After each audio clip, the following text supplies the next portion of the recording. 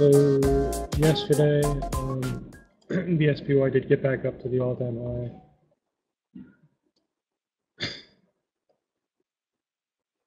Area right here. A little bit. So most of the action again was in the small caps and the IWM. We're continuing to see when money goes to work there, it creates outsized moves. We've already talked about much lower liquidity on that side of the side of the equation. Um, but directionally, still the same. SPY is right below the all-time high here. Um, 221.70, 221.80. If we break above that and start to hold, um, we want to make a long play similar to when IWM started to break out yesterday. Uh, looking at resistance here, it's a little bit messy.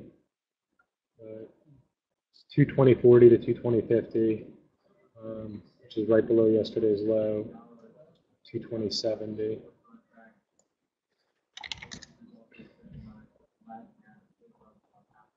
So IWM, um, after selling off right on the open, which we've seen that do a number of times, this day did that on the open, um, obviously this day here. Uh, we've seen some quick dropouts on opens, um, but this one reversed, got back up to the opening price, and then once it took out that opening price and started to go up, that's that's when I actually got long. Went up another dollar from there before pulling in about 40 cents. So for today, uh, certainly 134 would be the natural spot to look for if it drops out right on the open, at 85 cents below yesterday's high.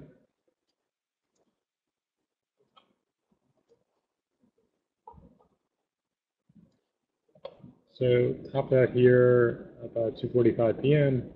Came in, tested the half, and the after hours it drifted down a little bit to this right here.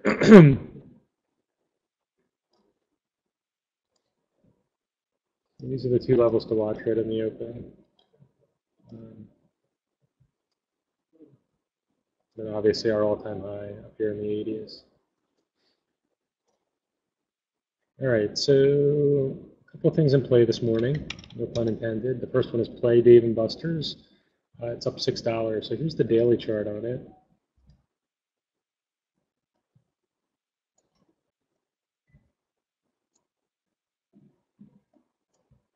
All right, so they IPO'd back here in uh, 2014.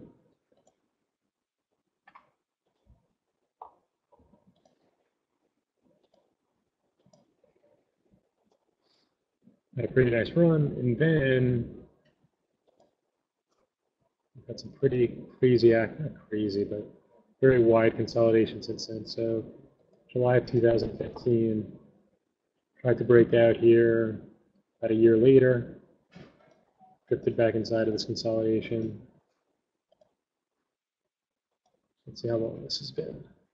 So June, so six months, six months of time really spent the low 40s to the high 40s. Uh, should be enough time for it to have this breakout hold. If we look at the last time it broke out um, here in June, had good follow through that day. Gapped up from 42 to um, 44, only about a two and a half point gap today. It's gapping up six dollars. And then the next day, topped out at 47. So this was about five dollars in two days top that a little bit higher the next couple days before coming in. So it's a, it is a very large gap. Um, the reason it's gapping up so much is they they crushed their EPS. Now you look at the numbers and there's a slight beat on revenue, but a crush of EPS. Um, and so what are you to think of that? Well, one way of looking at it is they they're really starting to monetize their assets more. Um, you know, they're growing, and I think the es the estimates were low. Last year they did 11 cents. This year the estimates were 13 cents. I think they ended up being 23. The estimates are low because a lot of times when you're growing as a franchise, um, the the um, the money goes to that growth. It doesn't go to the bottom line. But they've been able to, to grow and get that money to go to the bottom line. And so that's that that's actually a big deal. Really, the question is is that enough of a big deal to um, to hold this gap here above 53. It's, it's very different than something like CRM from a few weeks ago where they had this big gap up and you looked at the numbers and you're like, there's kind of nothing here. This is a growth company and there wasn't anything impressive. And we know what happened with that CRM and ended up coming off $12 over the next couple of weeks before bouncing. Um, that's not clear here. So um, what I'll do is I'll watch very closely. Does it fail? And if we mark it here at 54, what does it do in this area here? If it fails at 53, starts the hold below, then I'll start to look for it to, to come in. Not the gap fill necessarily, but um, the numbers are quite good.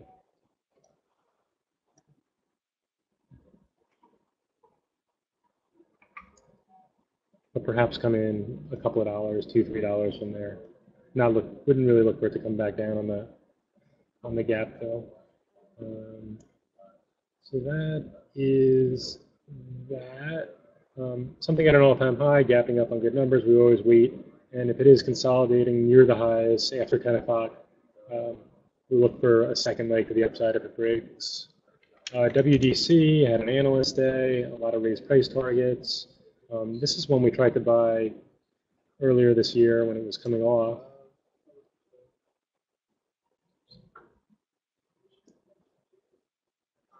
One of these down moves here. Um, has been very strong the last couple months, and now they just raised guidance again. So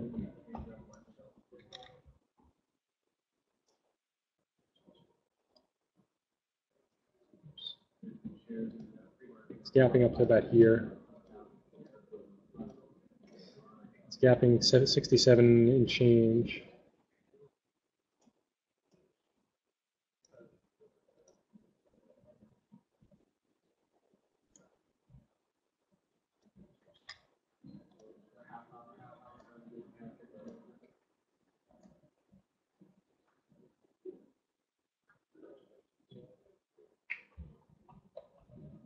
So normally trades about four and a half million shares. Could easily see seven to 10 million shares today. People really pile in.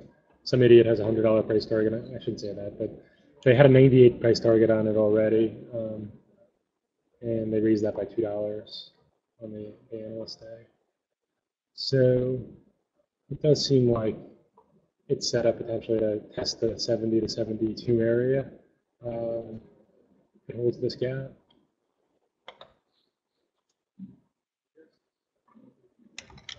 Blue, this is one from last week. They gapped to 75. They sold at long-term resistance. Um, it was accumulated then in the next few days. Accelerated yesterday when it got above 75 here. Actually came back in and retested it. And then had a second leg here, almost 80. Um, they did a spot secondary at 76. It's pretty bullish, the fact that the stock just ran up as much as it did, and they can price the secondary at 76. We've seen on some other secondaries in the last couple months after a run up, they were pricing secondaries way down here and the, and the stocks got crushed. The fact that you can price a secondary at a high price after a run up is bullish. So 76 is the obvious price. Um, but certainly if they had a whoosh down into this, you know, closer to 75 right on the open, it'd be worth worth a shot there to see, try to capture a move back up to the 78 resistance from yesterday. Um, then Bob points out VRA. There's a couple of stocks that are very thin that are in play. VRA normally does um, 220,000 shares. So you certainly can take a look at it. Um, the heaviest volume day it's ever done is around one and a half million shares. So it is in play. Um, it probably trades in five cent spread increments, which is not the worst thing. Uh, it's just going to be just going to be a little bit thin. That's all. Uh, TXMD. So this one, bottom in the morning, looked like it might turn around. And around 11:30, it broke down, went down to low again, did test, then was accumulated the rest of the day. And you can see Reddit into the close was was bought, and then this morning is gapping higher. It's but it's touched the seven here a couple of times, so it's not like it's running away from the seven. Um, but we want to watch red on the open. Uh, does it stay above seven? And you know, we talked about this yesterday. Um, lower price stock, lower float. Good um, small biotech drug for something that people understand, wide condition, affects a large percentage of the population. We'll see if this can uh, actually work its way back up to $8. Uh, and then Teva had the spike right on the open and sold off, had a second leg below 35 to 34.60. Um, double bottoms, but could not hold above 35 the rest of the day. Here's one spike above 35, here's another. Uh, it trades in Israel, so it was obviously trading higher there. Um, as we are getting closer to the open, it looks like this 35 is going to be in play again. This is one that has really been beaten down in the longer term. And so we just want to be mindful, even though it's in probably, if not the worst, one of the worst sectors in the marketplace right now, um, that has bounce potential. So you got to go all the way back to um, you got to go back to before the financial crisis when it was trading between you know this 30 and 35 area. Since then, it's you know, it's coming to 35 a couple times. Pretty good bounce here to 47. This obviously was a huge bounce. Um, this is an area where it has a history of bouncing from. Even if it just went back up to 37, 38 before failing, there's uh, there's some upside there. Yeah, I don't really have any thoughts on the UA UAA. I, I can tell you that when they initially um, did the spinoff of the the, um, the Class C shares, um, the, the trading was very strange. Um, the Class C shares traded actually in par to the Class A, which probably was the largest edge trade of the year. I don't know if I ever discussed it, but you probably saw I had the two positions in my account um, short uh, UA.C and long UA for a few days. Um, it turned out that that ended up being a 20% move with zero risk. I don't know if we'll see that type of edge in the next few years. It's a very rare thing. Um, but I would, I think it'll be difficult for um, traders to try to, to game that. The only thing I'll say is UA, which was UAC, and that was the one that I was short before. Uh, let's see if we can get the chart on eSignal. I type in UAC, it should show up. Okay, so it's UAC now is UA, and this is, I mean, it was all the way back here when I was short at 46. Um, off to 24. So the reason why they did this renaming of the stack is to um, try to narrow the spread between the two. I think the spread is around 20%, which is abnormal. As I told you, they were at par when I put on that trade. So I think more of a normal spread is 10%. So the thought would be that UA now might, let's see, it's up 75 cents this morning, and UAA, which is the regular, the old UA, which they now just renamed UAA, is only up 20 cents. So you can see it's narrowed 50 cents so far in the, in the pre-market, um, which is about 1.5%. Um, the idea is people will be dumb, I don't want to say dumb enough, but people will buy UA because it's the simpler ticker now. And um, that way it will catch up to UAA. I don't know if people will necessarily sell their UA shares. They probably won't. So that's that's the theory behind it. Um, certainly, if UA is acting strong, um, again, it is a huge spread, so maybe it will go up another uh, dollar or two. Um, that's that's the idea there. Is money back to moving back to pharma? I haven't really looked that closely at that, Ed. It's um, no, not IWM, IBB. So um, we remember we were about to re- to test this this 240 from earlier in the year. We did after the election ran up, and it, it looks like now. I mean, initially after the election, it came back above 290. IBB, excuse me, yeah, IBB, IBB 290 short to 300 could be a good short for, another year. Um, I would give the benefit of the doubt to the sellers on this one. Obviously, the specialty pharma helps a lot there. Um, so peaked out, and so this is kind of the opposite. It looks like, you know, let's compare where's money rotating? Money's rotating here into the small caps, right? Here's the move from the election, 127. Now we're at 134. As always, be patient and good luck. Hope you enjoyed that video. You can actually watch that video if you're subscribed to our Trader 90 before the market even opens. What stocks are in play? What levels in those stocks are important? and how we might go about attacking that stock. That's Steve Spencer, 20 year veteran trader, laying it out there every morning before the market even opens. A really, really powerful tool to start your session off on the right foot.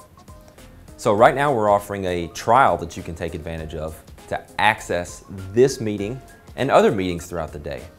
We have a meeting at 11 a.m. Eastern where you can sit down with Mike Bellafiore and listen to him talk about what's going on during the morning session, what stocks were in play, what the best trade opportunities were, as well as maybe some things that we're looking at heading into the afternoon session.